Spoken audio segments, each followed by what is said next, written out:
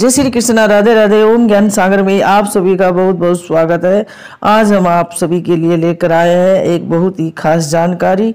शिवलिंग पर सर यानी मस्तक, माथा क्यों लगाना चाहिए लगाना चाहिए या नहीं, क्यों लगाया जाता है, इसी के बारे में आज आपको बताएँगे।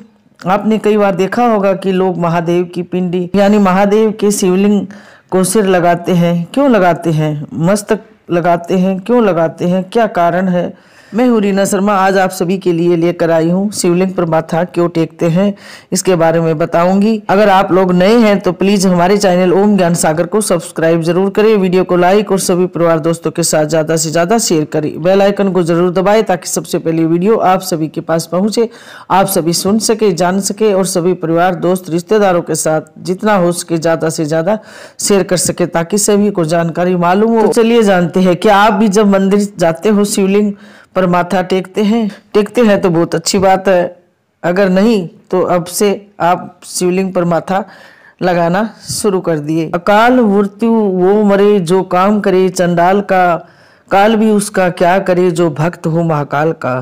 तैतीस करोड़ देव देवता, समस्त देव देवता आपको वो देते हैं जो आपके भाग्य में लिखा हो। आपका भाग्य लिखते हैं और आपके भाग्य में लिखा हो।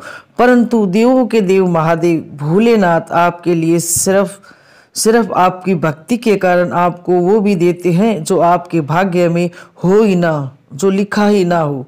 महादेव आपकी खुशी के लिए आपके माथे पर लिखी रेखाओं का भाग्य बदल देते हैं, जो इस बात से परेशान रहते हैं कि हमारे भाग्य में तो कुछ लिखा ही नहीं है, हमारे मस्तक में तो बुरा होना ही लिखा है, मस्तक में रेखा ही नहीं है सुख। की अगर आपके मन में भी यही सवाल चलते हैं कि किसी ने ये बता दिया कि तुम्हारे माथे में तो रेखाएँ नहीं लिखी है, तुम्हारे भाग्य में तो कुछ नहीं है, तुम्हारा भविष्य तो अंधकार में है, तुम्हारे ज़िंदगी में तो कभी खुशियाँ आएगी नहीं। आपको निराश होने की बिल्कुल ज़रूरत नहीं है। आप भगवान शिव की आराधना करते रहिए पूरे मनोभाव और भक्ति श्रद्धा से।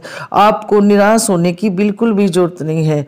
शिवलिंग पर जल चढ़ाते रहिए और पूजन करने के बाद शिवलिंग यानी शिव जी की पिंडी यानी शिवलिंग पर अपना माथा ज़रूर स्पर्श कराए, अपने सर को ज़रूर लगाए भगवान शिवलिंग से। पूरे तन मन से शिव जी की आराधना कीजिए। भोलेनाथ बेहद आपकी ज़िंदगी को खुशियों से भर देंगे। एक बार विश्वास तो करके देखे। भगत अपना सिर भगवान महादेव शिवलिंग से अपना सिर माथा लगाते हैं कि उनका भाग्य बदल जाए।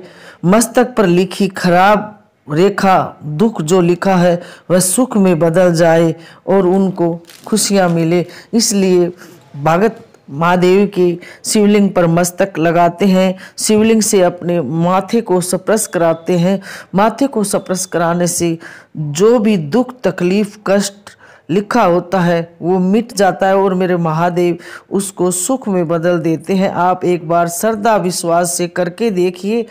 आपको ज़रूर फल मिलेगा और महादेव आपको बहुत सारी खुशियाँ भी देंगे। श्रद्धा और विश्वास से आप एक बार भोलेनाथ के शिवलिंग पर अपना माथा ज़रूर टेकें और विश्वास करके देखिए कि आपको भोलेनाथ बहुत सारी खुशियाँ आपको देंगे।